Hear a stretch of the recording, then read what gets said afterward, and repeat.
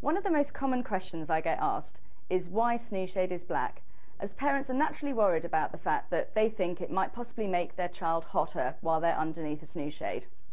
In actual fact, SnoozeShade actually keeps the interior of a pram or stroller cooler on a hot day by about half a degree than when it's uncovered. If you think about it very simply, it's simply you'd go into the shade to cool down rather than out into the sun. The other reason it's black is because black naturally protects from the most UVA and UVB rays, and so therefore the fabric doesn't need to be chemically treated. The other reason is because SnoozeShade is made from a very, very breathable and porous fabric that's specially made for SnoozeShade in a double layer, and this allows air to circulate very easily. In fact, what actually happens is, as hot air rises, it will be replaced by cooler air, and so therefore it actually creates convection inside the pram.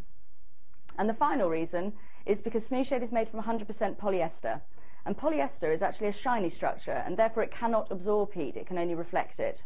So all in all, parents around the world, including Dubai, Australia, uh, the Maldives and various other countries are all happily using SnoozeShades on a daily basis.